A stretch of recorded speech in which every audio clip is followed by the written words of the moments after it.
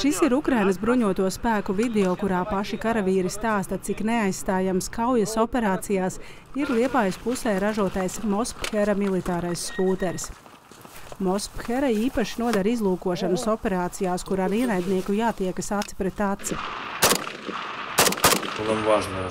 Mums ir svarīgi, lai mēs tur iebrauktu ļoti klusi, izlūkot apstākļus, palaisties pretinieku pozīcijām savus dronus, kontrolēt izmaiņas visā frontes līnijā.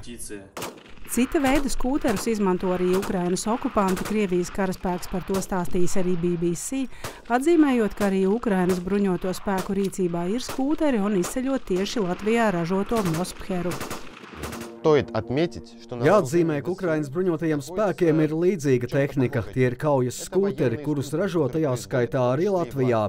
Šīs mašīnas ir jaudīgākas ar labāku caurbraucamību un patiešām var būt noderīgas, ja tās izmanto nelīdzenā reljefā.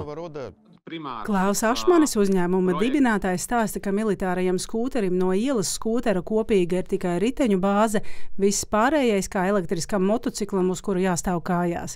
Ar vienu uzlādi tas spēja nobraukt 300 km, sasniedzot ātrumu 100 km/h. Mazs mērķis, par kuru ir grūti trāpīt. Uh, pirms uh, pusotra gada tika arī vienam izlūkam izglābt dzīvību, par kuru mērķēja vairāki tanki. Uh, un trāpīja garām, jo viņš ir ātrs un viņš ir mazs. Uh, konkrēti viņi visvairāk palīdz tieši izlūkiem, spēcvienībām un sniperiem. Tā viņi spēja klusi, nemanāmi uh, pielavīties un tikpat ātri arī nozust no mērķa vai redzesloka. Ukrainā šobrīd ties nepilns divus gadus jau piedalās deviņi krēriteņi. No Ukrainas mūsu ārlietu ministrijai bija lūgums iekļaut kādā no nākošām ziedošanas paketēm vēl gandrīz 70 skūterus. Birokrātijas dēļ papildus kūteru nodošana Ukrainas bruņotajiem spēkiem tā arī nesot notikusi. Tāpēc tagad ir cerība, ka kaujas laukā nonāks vismaz daži skūteri, kurus varētu nopirkt par šajā sabiedrisko mediju un ziedot LV akcijā saziedotajiem līdzekļiem. Un tāpat Ukraiņiem joprojām nepieciešami droni. Arī tos ražo Latvijā, un arī Sierra būs viens no uzņēmumiem, kuru ražojumu plānots iegādāties sūtīšanai uz fronti. Dronu ražošana ir tikai salīdzinoši neliela daļa no uzņēmuma darbības virziena, un tomēr vairāki simti gan mērķu iznīcināšanai paredzēto tā saukto kamikādzes dronu, kā arī izlūk dronu uz Ukrainu ir aizsūtīti un jau pildījuši misiju.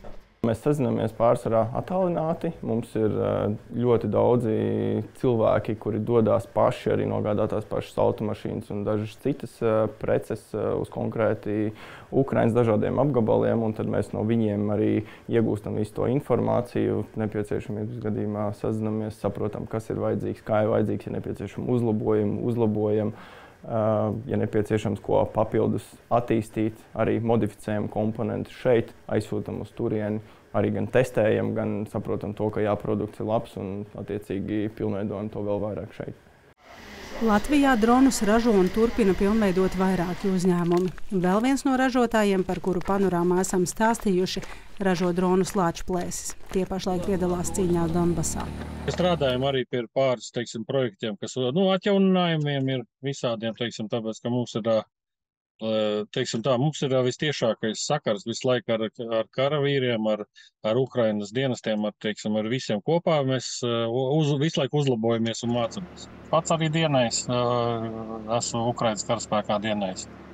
Un, un, un tā, no šejienes arī nāk visas tās zināšanas, un no kā, uz kā pamatojoties mēs arī visu veicam šo. Ingus pašlaik atkal ir ceļā uz Ukrajinu, lai vestu karavīriem nepieciešamo. Pat šeit Latvijā dronu ražotņu atrašanās vieta nav publiski izpaužama. Lāčplēša ražotāji paši atsūta video no ražošanas procesa. Arī šos Latvijā ražotos dronus plānots iegādāties par sabiedrisko mediju un ziedot LV akcijā Ukrainas atbalstam saziedoto. Zandozo Balodīvans Milovs, Latvijas televīzija.